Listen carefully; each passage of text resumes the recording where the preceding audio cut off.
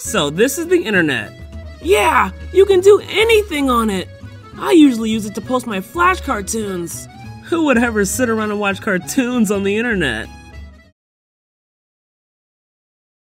And this here's the trash can. You can use it to remove any unwanted programs. Ooh, what's this? Hot Lonely Singles in my area? Heh, don't mind if I do.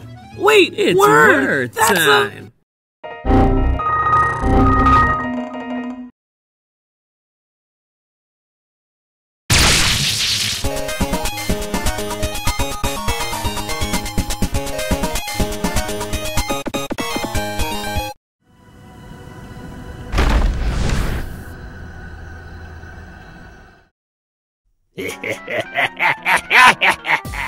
XD, you've really done it now. You just had to click on my troll, huh, Nibs? What did he just call me? I can't believe people would go on the internet and tell lies. Thanks to your screw up, I'm free from my cyber prison, LMAO. I should really thank you, shouldn't I? I'll give my appreciation by taking over your stupid city. All of Cableville belong to me, ROFL. The webmaster's getting away. The what? You know, because it comes from the web and like owners of websites are called webmasters. Pretty clever, huh? We'll think of something later. We've got a virus to bust.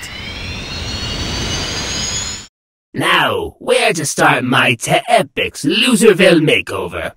It's always the same thing with you villains. Ooh, this time let's take over the city. Why not the world? This city isn't even that great.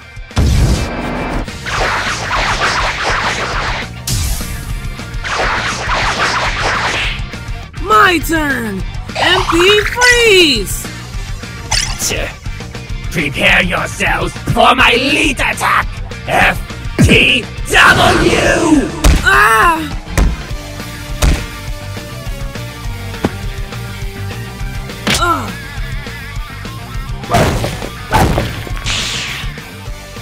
Red all you want! You're getting pwned anyways!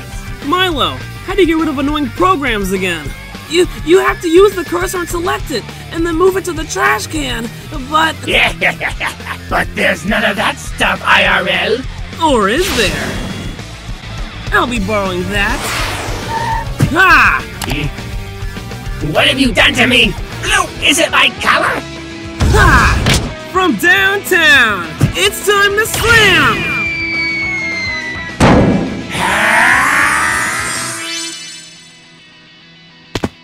Wait, what? I can't believe that worked. That was a harsh lesson on internet safety.